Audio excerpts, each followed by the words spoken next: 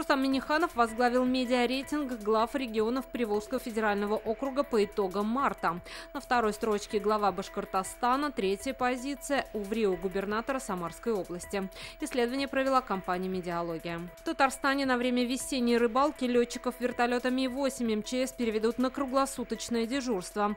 Уже сегодня по Татарстану выставят 8 временных спасательных постов в местах массового выхода людей на лед. 7 апреля в Казани пройдут сельскохозяйственные ярмарки. Торговля развернется на 10 площадках в Советском, Новосавиновском, Авиастроительном, Московском, Кировском, Вахитовском и Приволжском районах столицы.